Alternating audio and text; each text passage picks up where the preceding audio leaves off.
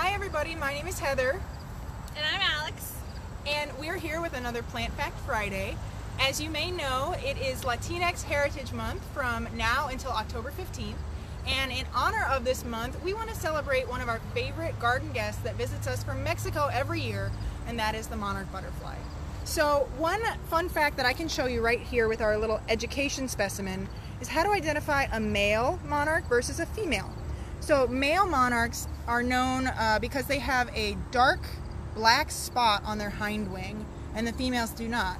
So, we can tell that this bottom one, it is a male because it has that black spot, while the top one is a female. So, little fun fact next time you're out in your garden, you can know which is a male and a female. So, we have been seeing a lot of monarchs coming through Iowa recently, and Alex is going to tell us why that is. We picked the monarch this week because we have been seeing a lot of monarchs here in central Iowa, and that is because we are in the peak season of their fall migration going south to Mexico. And the way that they're able to do this is they use a lot of environmental cues like the magnetic fields and the sun's direction to find their overwintering places. Butterflies you see here in central Iowa will overwinter, overwinter in the Sierra Madre Mountains of central Mexico, where monarchs in California will overwinter in Southern California also. So using these environmental cues, they're going to find their overwintering places. Heather's going to tell us a little bit more about why this migration is so special and how the monarchs make this incredible journey even cooler. So, as Alex mentioned, uh, the monarch migration is particularly interesting because it happens over the course of multiple generations. So that means that the monarchs that leave those mountains in Mexico are not the same ones that will return. Instead, it's their great grandchildren or even their great great grandchildren. But somehow they use those environmental cues to find their way back. It's really amazing. So I have a map here that we can look at. Uh, the monarchs that leave Mexico will only make it a couple hundred miles north and they live for maybe five to seven weeks before laying eggs and passing the torch to the next generation, which will continue moving northward, maybe making it to Iowa, Missouri.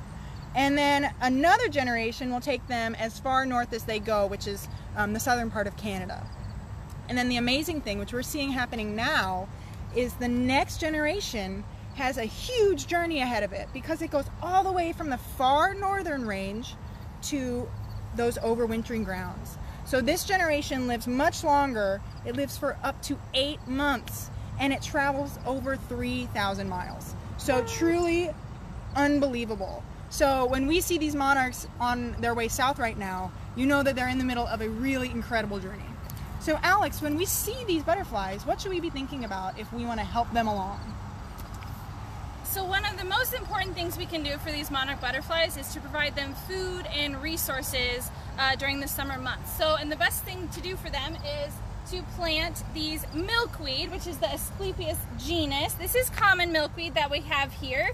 And this is the only food source for the monarch caterpillar. So a monarch traveling north in the summer months will lay its eggs on the milkweed.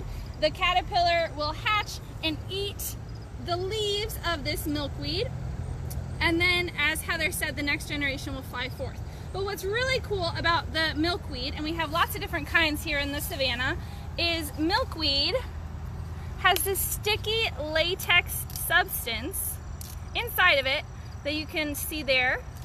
This is actually toxic to predators of the monarch. So their caterpillars eat this plant, ingest this toxic substance. It's not toxic to them, but just to their predators. So that's why uh, birds and other predators of the monarch try to avoid them because it makes them sick or have an upset stomach.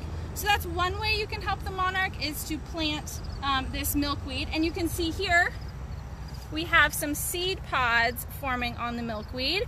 So it's also important to spread those seeds um, in the fall after those are ready and bursting open. Those seeds you might have seen last week get dispersed by the wind in our previous Plant Fact Friday video. Heather, how else can we help the monarch butterflies? So, uh, if you have the space and are so willing, you might even consider planting a butterfly garden. So, this is a garden that not only has host plants like the milkweed, where they can rear their young, but it also has nectar plants for food and a source of water. And a good little tip if you want to make a water source for insects like butterflies and bees um, is to have a shallow dish, put some rocks in there, some pebbles, and then every time you're watering your garden, just fill that dish so that the insects can get a drink of water without having to worry about being submerged. Um, you can also participate in different citizen science projects. So these are things that we as citizens can do uh, just while we're out enjoying nature to actually help scientists monitor monarch migrations and they can use that data to maybe um, notice trends from year to year. So you can uh, make observations and record those in places like Monarch Watch and Journey North. These are both websites. Or you could even check with your local uh, county conservation boards and see if there's any monarch tagging events happening uh, in the near future. So thanks for joining us this week. We hope you learned a little bit more about the monarch butterfly and their incredible journey for Latinx Heritage Month. And we hope to join us uh, next week for Plant Fact Friday. Thanks for watching. Bye.